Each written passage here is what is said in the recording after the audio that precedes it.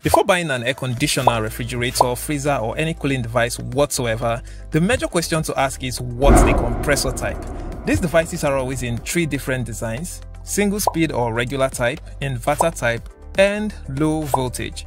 In this video, we'll be comparing all three types and what to expect from any device that feature each compressor type because you see the compressor is the heart of the device and will determine how durable and effective that refrigerator, air conditioner or freezer would be. We'll be comparing based on cooling speed, power consumption, weight and size, durability and effect, overall lifespan and most importantly, cost. Before we continue, remember to subscribe for helpful advice and product reviews that help you avoid buying mistakes. Also watch out for discount links on the description for fridges, ACs and freezers we recommend from research and user feedback. So let's dive in. The compressor basically sets the system in motion like a heart. So whether you enjoy that fridge, freezer or AC would depend on the compressor type. The most common type which is the single speed or normal compressor has nothing special. It runs on a fixed single speed of about 3600 rpm and when the desired temperature of cooling is achieved it goes off and as soon as the temperature rises again it comes back on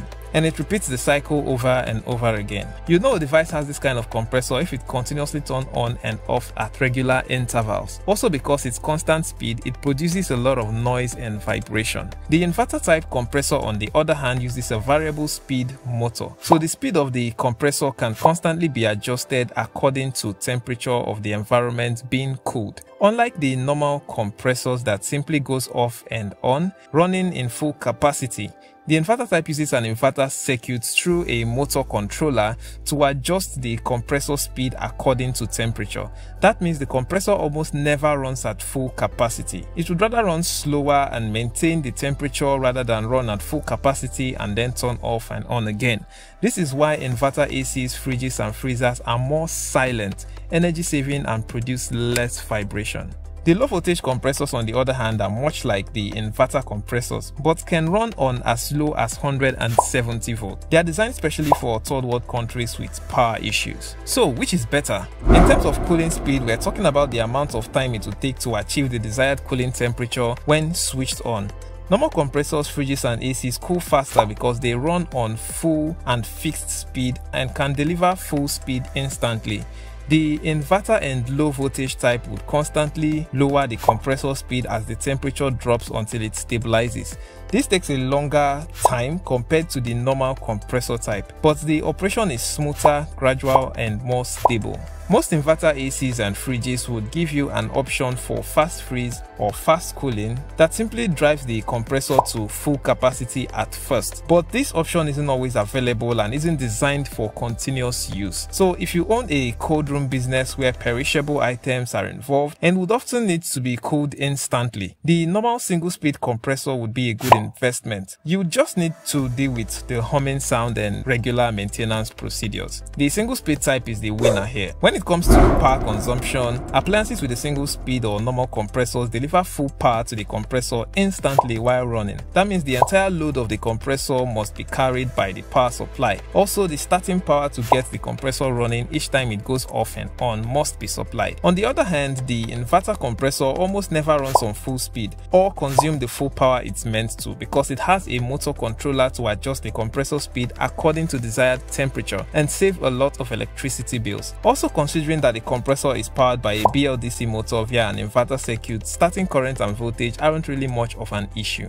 In inverter split unit ACs, the inverter circuit board also controls the outdoor fan speed within 400 to 950 rpm alongside the compressor. The speed is also regulated according to temperature to save energy. Unlike the single speed type that uses a single speed outdoor fan that constantly runs at 800 rpm and goes off with the compressor adding to the starting power requirement. This makes inverter ACs, fridges and freezers up to 40% more power saving than regular designs. So if you need an AC fridge or freezer for your home, especially if you're in neighborhoods or countries with high electricity charges. Avoid any device with single speed compressor. Also, if you have an off-grid power supply, probably solar or a small generator set, inverter compressors would serve you well. Good examples are the Thermocool GenPal series and the LG GenCool series. The low voltage compressors on the other hand feature a voltage regulator and are also good with power saving and can be as low as 100 watts in power rating. The only advantage they have over inverter compressors is the low voltage and stabilizer free operation, although you'd also find this feature in inverter compressor devices.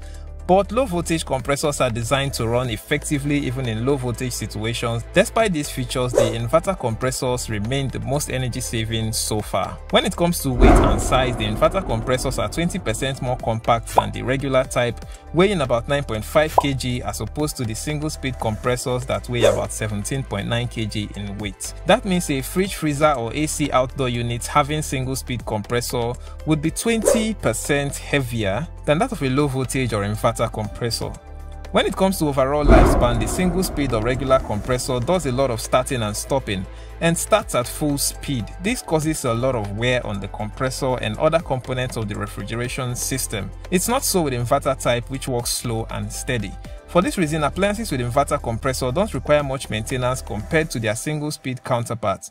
If you can't afford regular maintenance for these devices, avoid single speed compressors. Simply go for inverter or low voltage.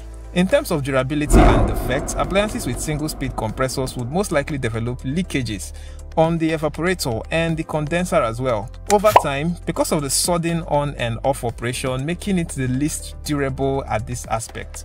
Also consider that the compressor itself would wear out over time because of the constant speed.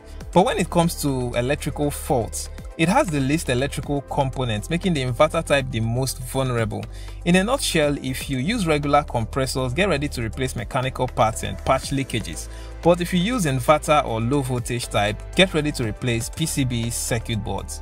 Anyway, electrical faults are quite rare compared to mechanical faults and wears, so the single speed guys are still the least durable with the shortest lifespan. So for the part of what we've been waiting for, which is the price. Well, when it comes to price, appliances with regular single speed compressors are cheaper and easier to manufacture as they contain less electronics with no voltage regulator, motor controller, or inverter printed circuit board. On the other hand, the low voltage designs are a bit on the higher side, while the inverter types are the most pricey of the three. The price difference can range from extra 20 to 60% for similar capacity. So if you own a holiday home or a fancy camper where you wouldn't be staying for a long time, you might want to consider appliances with single speed compressors. This is because it's more affordable and can deliver cooling fast and since they wouldn't be running all the time, you wouldn't battle with maintenance costs. Just make sure you have good power supply. But for a home or a business that runs on a lean budget, especially with limited power supply or a phobia for electricity bills, go for appliances with inverter compressor type.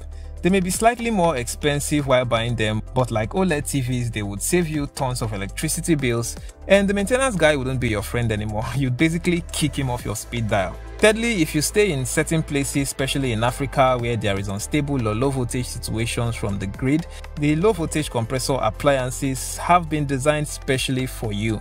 The unstable power situation wouldn't cause any damage to these appliances and they would function through the toughest power conditions. They would literally regulate the voltage themselves internally without the help of stabilizers and would do well with your generators as well. Talking about generators, inverter compressors also do well with smaller generators for those who use them. I've also added some of the toughest and the best inverter compressor powered devices from LG, Hisense, Thermocool and few others on the description of this video. Like and subscribe for more buying advice, product reviews and comparisons. I'm Justin, bye bye.